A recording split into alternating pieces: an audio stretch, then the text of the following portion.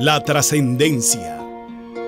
La trascendencia está vinculada a todo aquello que está más allá del mundo que conocemos, de lo material. Trascender es alcanzar algo que está fuera de los límites que nos impone nuestro cuerpo. Nos lleva a formar parte de lo inmaterial y lo infinito. Es una condición divina que solo la puede dar el Señor y que implica reconocer que somos seres mortales en este mundo, pero que hay una promesa de Dios de permanecer en el tiempo y el espacio, pero fuera de lo corporal, de lo material, y esa es la promesa de la vida eterna. El Señor nos ha prometido que no moriremos, sino que trascenderemos de una vida material y finita a una vida espiritual e infinita. Y esa vida a la que trascenderemos depende de la vida que llevemos en lo material aquí en la tierra.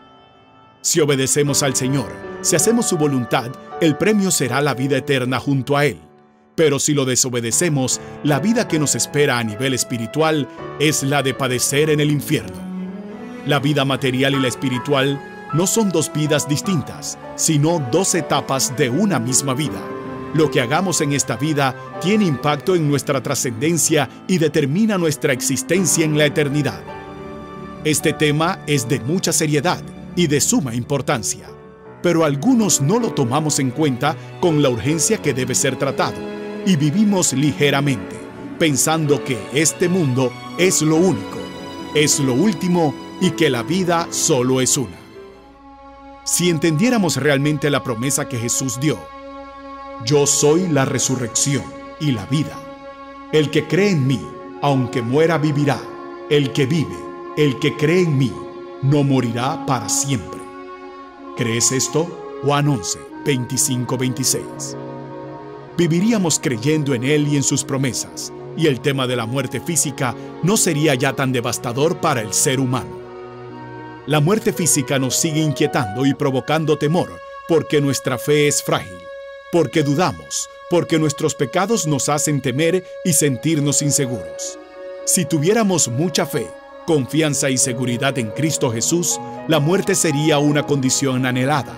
La muerte sería el mejor regalo que Dios nos podría dar, porque pasaríamos de un lugar lleno de pruebas, problemas y tribulaciones hacia un lugar que sería de plenitud, de alegría y de felicidad.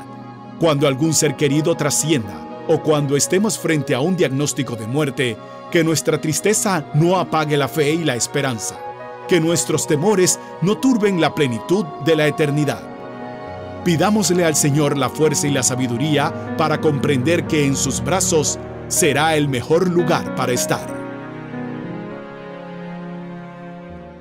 Nada te turbe, nada te espante, todo se pasa, Dios no se muda paciencia todo lo alcanza.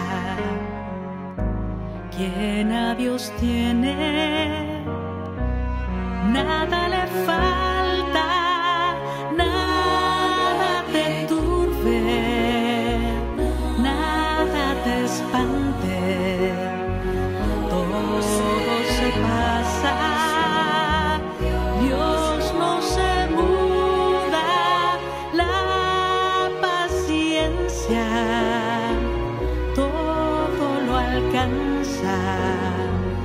Quien a Dios tiene, nada le falta. Amén.